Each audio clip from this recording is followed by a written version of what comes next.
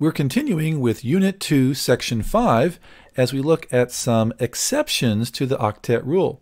So in this molecule here, we're going to draw the Lewis electron dot diagram for xenon tetrafluoride. So once again, hopefully you can see that xenon is going to be the central atom, since there's only one of that uh, of that element. So we're going to put xenon in the middle with the four fluorine atoms around. Can you see how many valence electrons each fluorine will get? Well, it's in group 17, so I'll put seven dots around each of those. So we have seven, seven, seven, and seven. And in case you missed the last video, you might want to pick that up. We always try to start with the outside and work our way in. That seems to reduce errors. And also try to pair these electrons up as much as you can. Next, we have the xenon atom. How many valence electrons does xenon have? Well, it has 8. As you look at it on the periodic table, it's in group 18. So I'm going to put the 8 dots around here as well as I can. So we have one, two, three, and 4. And you might see that we kind of have a problem here because we have run out of room. We've only put 4 of Xenon's 8 dots up here. We have to put up five, six, seven, and 8 somewhere. But where do we do that? Do we put these as double bonds or something? Well, that's not what we do. Here's what you do if you run out of room. Just put the extra electrons as unshared pairs on the central atom. So that's something that we'll see quite often whenever there's an expanded octet. You run out of room.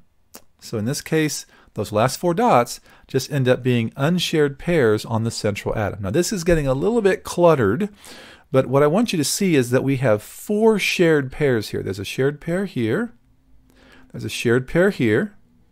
There's a shared pair here. And there's a shared pair here. And we have two unshared pairs on that central atom. So this is what your final version of your electron dot diagram should look like, where you have four single bonds and then the unshared pairs on that xenon as well as, of course, everything on your, your fluorines. So in this case, xenon has more than 8, doesn't it? It actually has 12. So, you know, xenon uh, will have more than 8. Some people might take a look at this molecule and say, well, hang on, I thought xenon was a noble gas, and I thought noble gases can't make chemical compounds. Well, that's usually the case, but xenon actually can make several chemical compounds. And xenon tetrafluoride actually does happen to be one of the more common compounds of the noble gases, especially xenon. Let's take a look at another example. We'll try sulfur tetrafluoride. So once again, you can see that sulfur is our central atom since there's only one of that element. So I'm putting sulfur in the middle with the four fluorines surrounding it. And let's start with the outside, work our way in. So how many dots will each fluorine get? Well, it has seven, right? It's in group 17. So seven dots for each of those fluorine atoms. And now how about sulfur? Well, sulfur is in group 16. It has six valence electrons. We need to put six dots on there. So we'll count that out. We have one, two, three, four. And do you see that we have the same problem as we had before? We are out of room, aren't we? We don't have any room to put 5 and 6. So where do those go? Unshared pair on the central atom. So I'm going to stick them right there. And when we draw our final diagram, you want to reflect that we have four single bonds, and then there's that unshared pair or that lone pair right there on the sulfur. So how many valence electrons does sulfur have in this structure? It has 10, doesn't it? Because we have the 8 from those bonds, and then we have the unshared pair, the lone pair, so that makes it a total of 10 valence electrons on the sulfur. So that certainly is an expanded octet. Let's try one more example here. Let's try phosphorus pentachloride. So once again, looks like phosphorus is going to be our central atom, and we have five chlorines around it. So we'll start with the chlorines and work our way in. How many dots does every chlorine get? Well, it's going to be 7, right? Because chlorine is in group 17. It's a halogen. So we'll put the 7 dots around each of these. 7, 7, 7, 7, and 7.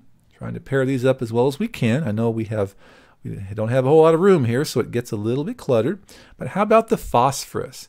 Well, you look at the periodic table and you see that phosphorus has five dots that it's going to bring to the table here. So we're going to put the five dots in there. One, two, three, four, five.